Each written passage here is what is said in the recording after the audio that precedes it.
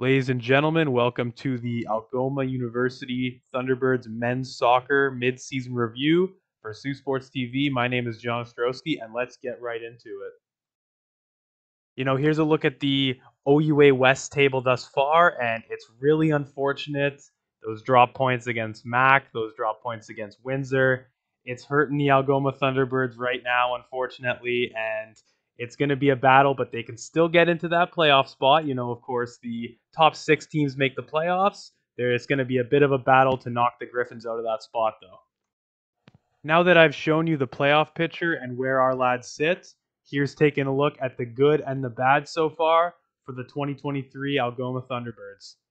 Something about this Algoma team that's been great so far is their build-up plays. They've all been very fluid. Everybody's moving as a unit seems like everybody knows where the, the ball is going to go next, and it's just a great thing to watch. You know, especially early on in the game, like here, this is in the 14th minute of the game.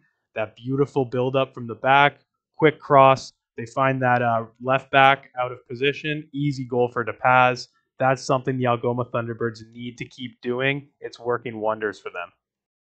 Another thing I love about this Algoma side is their diversity in their passing plays. They can beat you with the slow build up, they can beat you with a bit of tiki taka, or as you see here, here's Jaden Timmis's long ball that's going to eventually lead to a Waterloo foul. So that's a thing, something that you really want to watch going forward as this team gains more chemistry and once they trust each other a bit more. It's very promising already to see the diversity in attack, and it's going to be awesome in the future going to the defensive side of things now, I've really loved how the back four, led by Danny Sandoval, led by Luke Harrop, has been able to keep their shape all game, as well as zero in on these star players, you know, the Devin Hernandez and the Tyler Retardos of the league.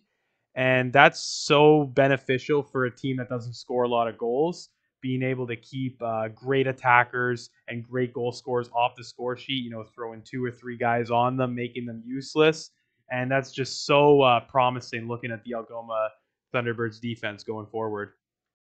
And now switching focus to the things that have kind of been hurting the Algoma Thunderbirds. Uh, the big thing has been composure went up a goal. As you can see here, just a quick defensive breakdown, and that leads to an easy McMaster goal. And I, am not too worried about that. This is year one of Andreychuk's uh, crew, so that's something that comes with time, comes with knowing your pl- players and playing alongside them, and that's something that's going to come with time. And once they get that first win, that second win, that third win, able to build momentum on it and learn how to play with that composure. But if you want to get in the playoffs, you really got to really got to nip that in the bud right now. So that's a little bit concerning.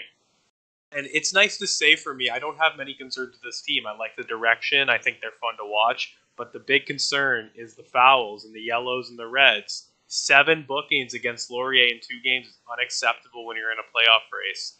Dave Andreychuk knows that. He's a guy who's going to constantly be tinkering with it, and it's going to be interesting to see this last push to see how fewer fouls they're going to give up. I Do have a very special treat for everybody. I was able to uh, call Luke Harrop on Wednesday night, so here's the best bits and pieces. Uh, we had a great talk and here we are. All right. So my name is John Ostrowski. Welcome to Sault Sports TV. Where uh, I'm joined here tonight with uh, Luke Harrop. Welcome to the show, Luke.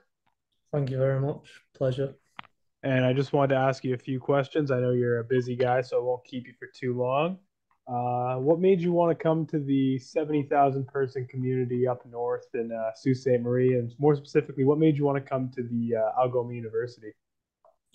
Um, personally, for me, it was a big chance to play youth sports. Um, like for me personally, I wanted to. My goal is obviously to try to be a professional football player or soccer player, as you call it out in Canada. Mm-hmm. So the main reason I came, and obviously the likes of Connor and David, who I've worked with last year. I mean, yeah. Connor was a player, um, and David obviously was the head coach in Vancouver where I was. So I think the opportunity that he brought to me seemed pretty good. So I was like, you know what, may as well bite the bullet and take it on, and I've enjoyed it so far. That's awesome to hear. Uh, Davis just seems like such a great influential coach for you guys. Oh, he certainly is. I mean, he's tells you how it is, and I think that's as a big trait as a coach. Yeah, we can we can definitely see even in the uh, press box that he is not a guy who's scared to uh, use his voice at all. Absolutely not. So, uh, you know, coming from your background, uh, I I assume you're originally from the Leeds area. I am, yeah. Okay, so obviously that's uh, you know, England's the inventor of modern football. So, what's uh what's the culture shock been kind of coming from that football crazy uh, lifestyle in the UK to more of a growing soccer nation in uh, Canada? Um, for me, like I've been grown up around football since the age of four. I mean, I've been in an academy since the age of seven, so I've been in that culture from a very young age. And then as soon as I got told, "Oh, you're not getting a pro contract," I was like, "Oh, okay, I'll go have to fend for myself." Now I've come to Canada, you can see a little bit of a difference. Like there's obviously other sports that are quite big out here. Yeah. But obviously soccer is growing. Um, and I think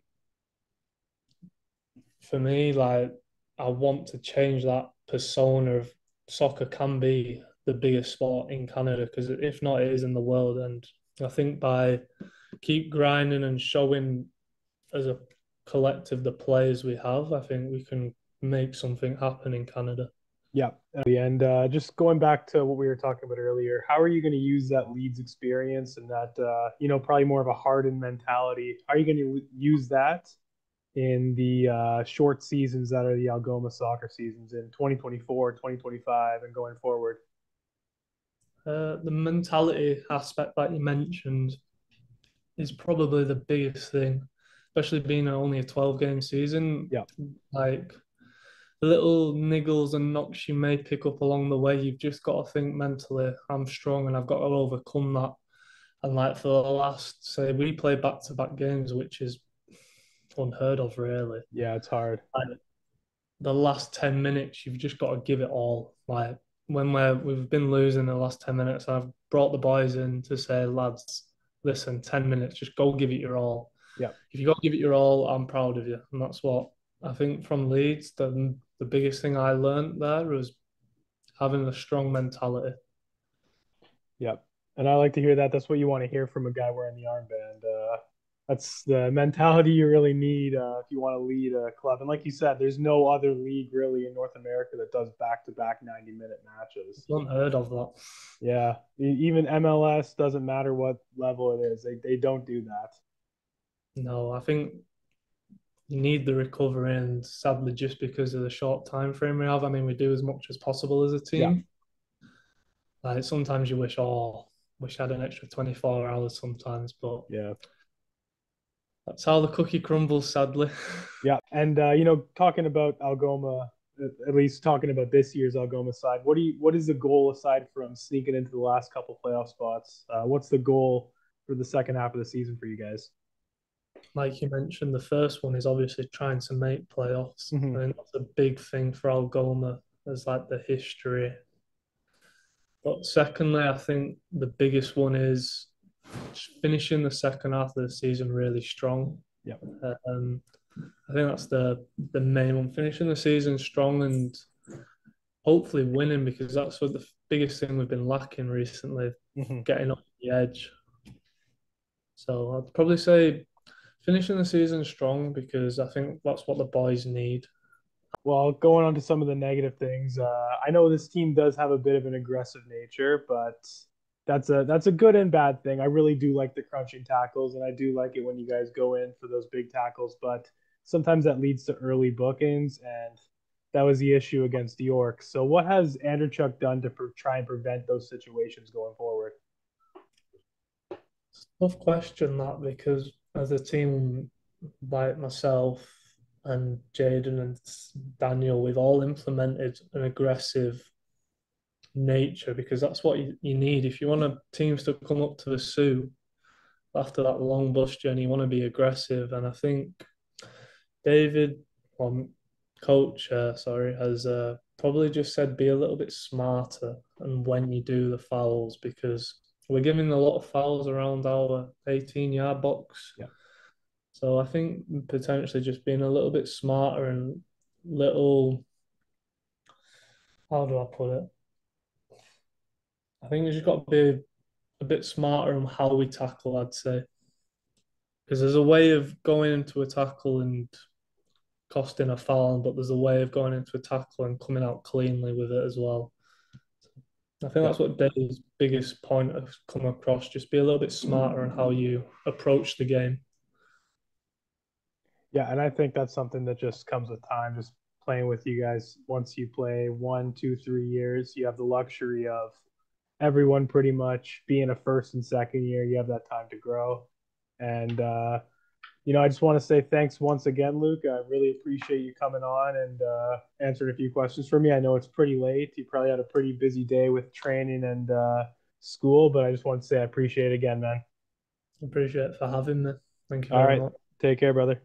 Take care. Look after yourself. Appreciate it. Go up the T Birds, eh? Yeah, up the T Birds.